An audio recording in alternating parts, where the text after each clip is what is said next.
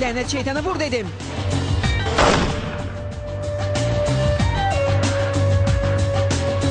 Təxliyə qrupu göndəririk. İşe başlamaya hazırsınız.